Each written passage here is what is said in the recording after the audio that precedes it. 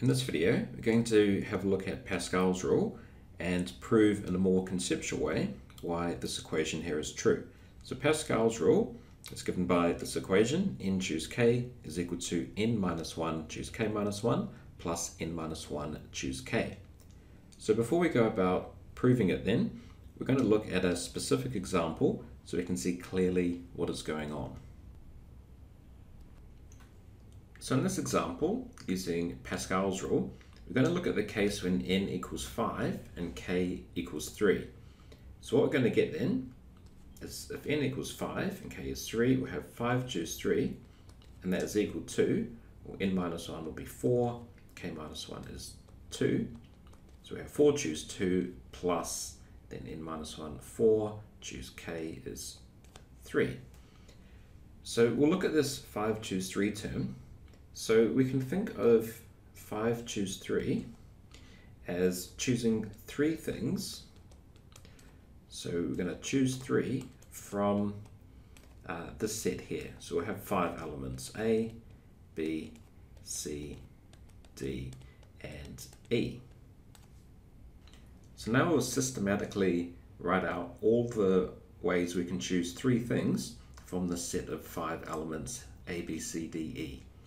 So what we're going to have then is abc A, B, C, A, B, D, A, B, E, and then A, C, D, A, C, E, A, D, E, and then starting with B, we have B, C, D, B, C, E, B, D, E, and finally C, D, E.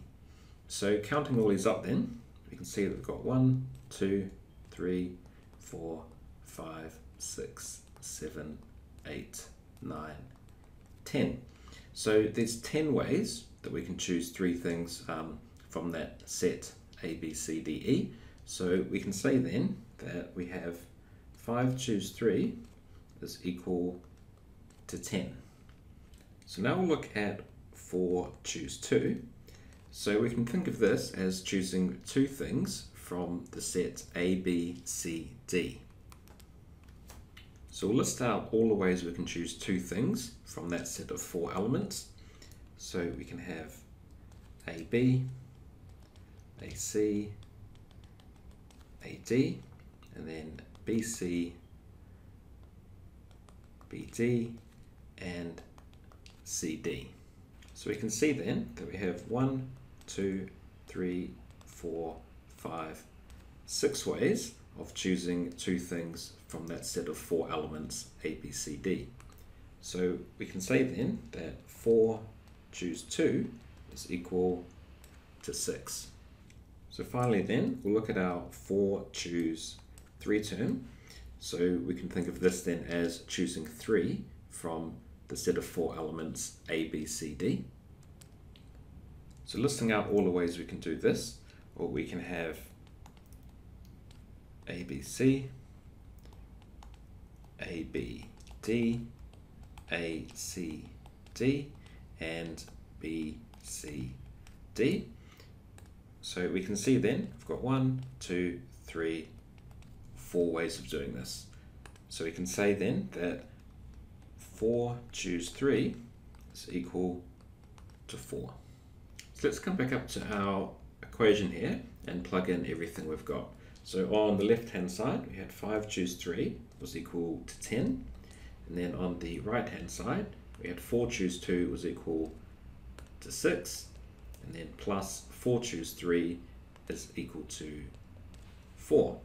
So we can see then that the left and right hand sides are equal. So Pascal's rule definitely works then for when n equals 5 and k equals 3.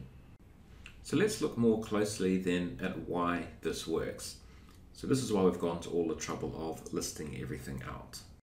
So let's look at our list here of all the groups of three that we're able to choose from our set of five elements. So we'll go first and circle all the groups that contain E. So we're going to have ABE, ACE, ADE, BCE, BDE, and CDE. So we've got six groups that contain E, and then we'll circle the groups that don't contain E. So that's ABC, ABD, ACD, and BCD. So we can see then that we've got six groups that contain E and four groups that don't. And in our equation, the right hand side is equal to 6 plus 4. So it's not a coincidence that we've ended up with six groups that contain E and four that don't. So if we look at all the groups that contain E and cross out the E, well then we're left with just the same six groups that we've got from our 4 choose 2 list, that list in red there. So the reason that works is because if we want to choose three things from our set of five elements, A, B, C, D, E, and we've already decided in advance that we definitely want E to be in these groups, well then we've already got one element, so we've got two things left to choose, and we've got four things, A, B, C, D, left to choose from. So there's four choose two ways of doing that. Now looking at the groups that don't contain E, so that's the groups circled in blue, so that's the ABC, ABD, ACD and BCD, well they match exactly with our four choose three list, which we've written out in blue at the bottom. And the reason that is, if we want to choose three things from our set of five elements, and we've decided that we definitely do not want E to be in any of these groups, then well, we've still got three things left to choose, but we've only got four elements left to choose from, A, B, C, D. So there's four choose three ways of doing that. So to choose three things from our group of five, A, B, C, D, E, we can choose to either include E or to not include E. So if we include E, well that means we've got two things left to choose and our four elements A, B, C, D to choose from. If we decide not to include E, well then we've got to choose all three things from A, B, C, D. So that's where we get our four choose three. So as each type of selection either contains E or it does not, then by the addition principle, we'll get 5 choose 3 is equal to 4 choose 2 plus 4 choose 3. Okay, so that gives us an example of why Pascal's rule works. So what we'll do now is we'll go and prove it in more general terms. So now we're going to prove Pascal's rule, and there is more than one way of doing this. You can take a computational approach, but in this video we're going to do it in a more conceptual way. So let's say we've got a class of n students, and we want to choose a team of k students to enter a math competition. So now if we think then of all the possible teams that we can make, well we've got n students and we're choosing k of them for our team, so it's going to be a total of n choose k possible teams. Now let's say we've got a star student in the class and we definitely want them on our team. So that means we've got k minus 1 places on our team left to fill and n minus 1 students to choose from. So this means then that we've got n minus 1 choose k minus 1 possible teams that include our star student. Now let's say we don't want to include our star student in the team for whatever reason. So that means then we've still got k places left to fill in our team, but only n minus 1 students to choose from. So that means the number of possible teams that don't include our star student is n minus 1 choose k. So every team then either includes the star student or it doesn't include the star student. There's no overlap between those two types of selection.